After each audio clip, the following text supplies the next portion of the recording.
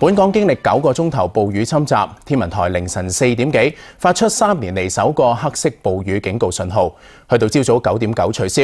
教育局宣布上下晝班、幼稚園同埋全日制嘅學校全日停課。一道低壓槽喺廣東沿岸地區徘徊，相關嘅強雷雨區為本港帶嚟豪雨，普遍錄得超過一百五十米嘅雨量。部分地區更加超過二百毫米。喺暴雨下，元朗田心村水浸，村民要通宵疏散。順利村嘅順安道就有山泥傾瀉。觀塘亦观塘道嘅隧道亦都水浸。先睇下暴雨喺各區嘅雨勢。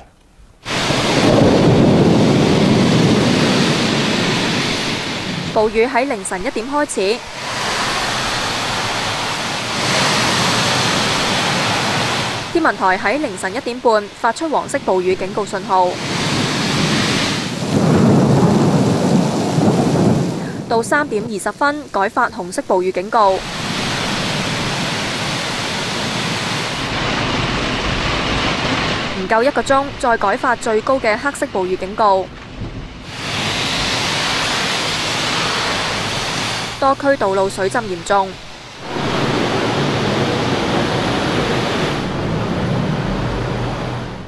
其中喺觀塘道近觀塘港鐵站嘅行車隧道水浸到車頂，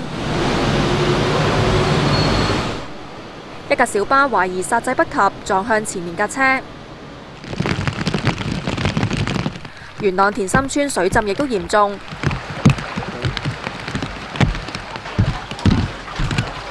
村路到處有雜物漂浮。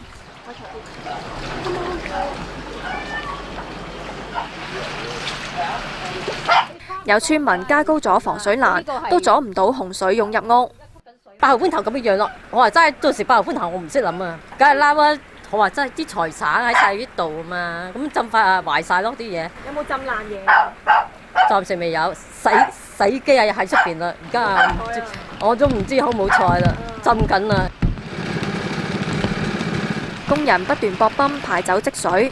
而家駁咗誒三條喉咯，通到佢乾為止咯。都算啦，今日都算嚴重啊！今次啊，其實呢條村嘅路啊，凹凸不平，好似呢個位呢就凹咗落去，但係行前一步呢一度呢就凸咗上嚟。